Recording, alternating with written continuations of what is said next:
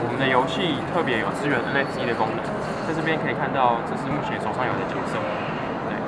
那我们按这边的开通游戏以后可以利用手机内建的 nfc 功能新的角色就可以被召唤到你的阵容里面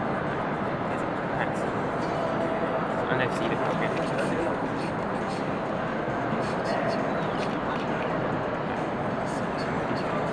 是我们游戏的特色。